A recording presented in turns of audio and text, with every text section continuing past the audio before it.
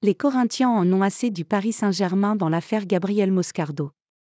Arrivé au Paris Saint-Germain depuis fin d'année dernière, Gabriel Moscardo n'a pas encore été officialisé par le club francilien. Outrepassé par la façon de gérer le dossier par les champions de France, le président des Corinthians, Augusto Melo, demande à ce que son joueur revienne dans son club. Il ne veut plus que l'opération ait lieu. La blessure de Moscardo qui bloque tout. Contrairement à Luca Beraldo, qui a été officialisé comme le tout premier renfort du PSG pour ce mercato hivernal, son compatriote Gabriel Moscardo est toujours en stand-by au sein de la formation de la capitale. Le joueur avait annoncé une blessure au pied, qui nécessitait une opération qui devrait l'éloigner des terrains pour trois mois. Chers amis et supporters, avec l'année 2023 qui arrive à son terme, je me souviens que cette année m'a offert l'incroyable opportunité de faire mes grands débuts professionnels au Corinthians j'aimerais vous annoncer à tous ma décision de réaliser ces prochains jours une petite intervention chirurgicale au pied gauche. Après les examens récents, on dirait que cette opération préventive m'éloignera des terrains pendant trois mois. Cela me permettra de revenir plus fort et de poursuivre mes rêves et ma carrière. 2024 sera une année merveilleuse, j'en suis convaincu.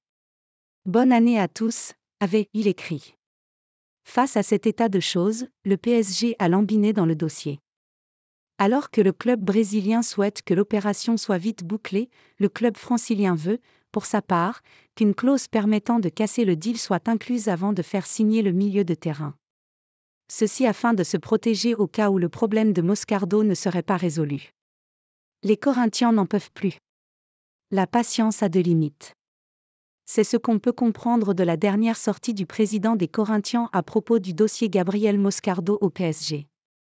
Sur l'émission Domingo de Globo, Augusto Melo demande aux dirigeants parisiens de lui rendre son joueur.